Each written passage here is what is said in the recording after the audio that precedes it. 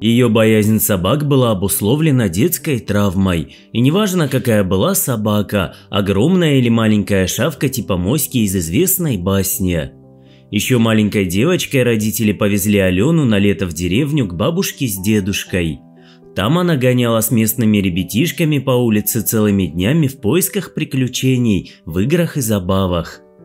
В это время в соседском дворе собака принесла щенков, и вот как раз один из щенков пролез через дырку в заборе на их участок.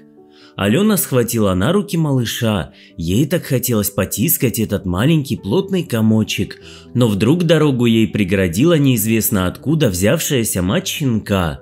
Она не лаяла и не нападала на девочку, а только злобно зарычала и скалила свои огромные зубы. Слава богу, что вовремя появился хозяин собаки, и все благополучно закончилось. Но четырехлетний ребенок с тех пор до дрожи в коленях боялся собак. И вот сегодня на пустынной аллее парка, через которую Алена обычно возвращалась с работы, возникла одинокая фигура огромного пса. «Хороший ты песик, хороший», – шептала Алена, медленно пятясь назад. Девушка решила от греха подальше дойти до дома по другой аллее. Она старалась идти медленно и спокойно, но при этом каждую минуту оборачиваясь. Пес шел за ней, но на небольшом расстоянии, как будто понимал все страхи Алены. «Какая умная собака!» – подумала девушка, очередной раз оглядываясь на своего случайного провожатого. «Близко ко мне не подходит, словно чувствует, что я боюсь». Но зачем он за мной идет и где его хозяин? Ответов на свои вопросы она, конечно же, не знала. Девушка быстро вбежала по ступенькам на крыльцо подъезда и открыла дверь. Собака даже не попыталась зайти, просто сидела и смотрела вслед закрывающейся двери умными глазами.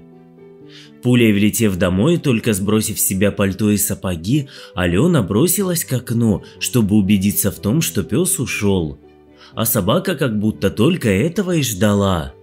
Увидев девушку в светящемся окне, пес повернулся и пошел своей дорогой, иногда оглядываясь, как будто хотел убедиться, что Алена точно дома и в безопасности.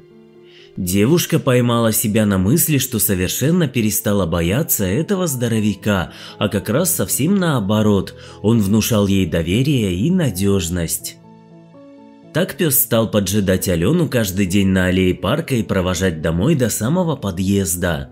С каждым разом он подходил к ней все ближе и ближе.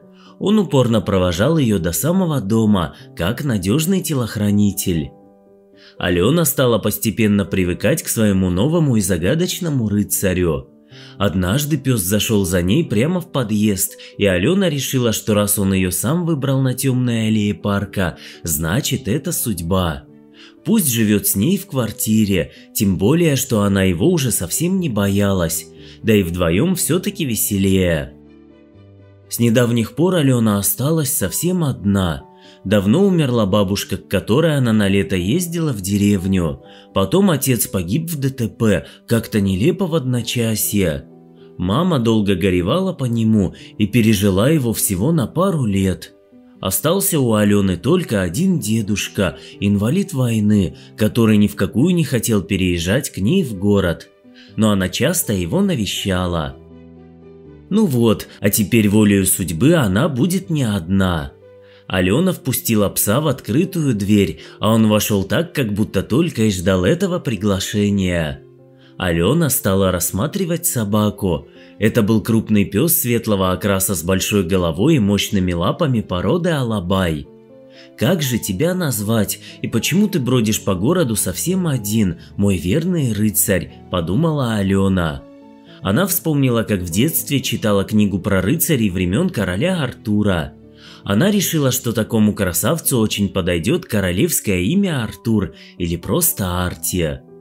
А что, по-моему, это очень красиво, и она потрепала пса по холке.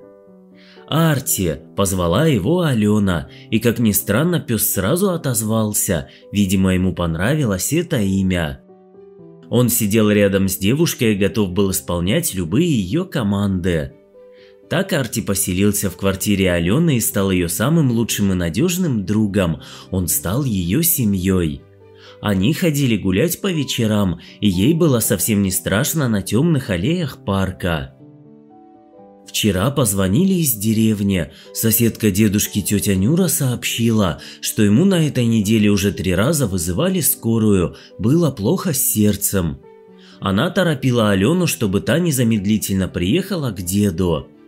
Взяв отпуск на работе, девушка поспешила в деревню. Арти тоже поехал с ней. Оставить его одного она не могла, а просить кого-то присмотреть за ним ей было неловко.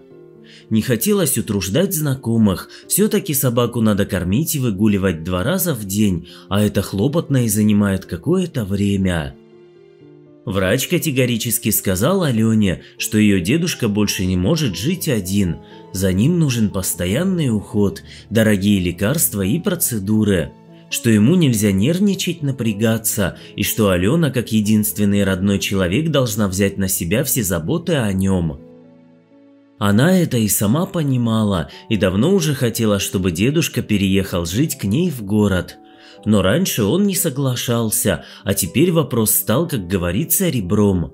Никакие отговорки больше не принимались. На семейном совете они решили, что дом в деревне надо продать. Деньги, конечно, небольшие, но зато дедушке хватит на хороший уход и необходимые лекарства. Им повезло, и покупатель нашелся довольно быстро. Дом купила под дачу пожилая пара из города. Алена проводила покупателей до автобусной остановки и договорились, что через месяц она освободит дом и перевезет дедушку к себе. Вечером после ужина дед отправился спать к себе в комнату. Алена убирала со стола, мыла посуду, Арти спал в дальней комнате на коврике возле дивана. Тихо напивая себе под нос девушка даже не заметила, как в один момент в дом ворвался вооруженный человек – Через секунду Алена почувствовала, как кто-то схватил ее за руку, а потом приставил нож к горлу и стал требовать деньги, которые она получила от продажи дома. «Отпустите, иначе я закричу!» Хватка на руке только усилилась. «Попробуй», – издевательски произнес мужчина, – «и я тебя быстро и навсегда успокою».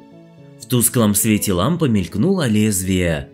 Что делать? Попытаться вырваться? А если он успеет ударить ножом? Попробовать договориться? И это не вариант. Грабитель вряд ли согласится на какой-то компромисс. Не для этого он ворвался в дом с ножом. Ее панические размышления прервал громкий крик. На ее счастье все это услышал пес, который вырвался из комнаты и тут же поспешил на помощь хозяйке. Увидев происходящее, он впал в ярость. Такой прыткости и резкости от него никто не ожидал. Хватка на руке неожиданно исчезла, а нападавший оказался на полу. «Отпусти, чертова псина!» – истерически кричал мужчина, пытаясь вырвать свою руку из пасти собаки. Нож оказался в паре метров от него, и девушка, не теряя времени, пнула опасное оружие подальше под стол. «Охраняй, Арти, охраняй!» – приказала она псу, а я сейчас бегаю за участковым, вдруг я не первая его жертва. В это же время на пороге кухни показался дед с охотничьим ружьем. Старый ветеран незамедлительно бросился в бой на защиту своих родных. Собака послушно села рядом с неудачливым грабителем. На каждое его движение Арти скалил окровавленные клыки и угрожающе рычал. Лишь когда на мужчине защелкнулись наручники, пес подошел к сидящей на стуле Алене и успокаивающе положил голову ей на колени. Девушка крепко обняла своего спасителя. Она плакала, уткнувшись в густую шерсть собаки. Как же я могла раньше бояться таких преданных и благодарных созданий? Алена сама не понимала, но теперь-то у нас все будет хорошо. Понравилась история? Ставьте лайк и подписывайтесь на канал, впереди еще много всего интересного. Всего доброго!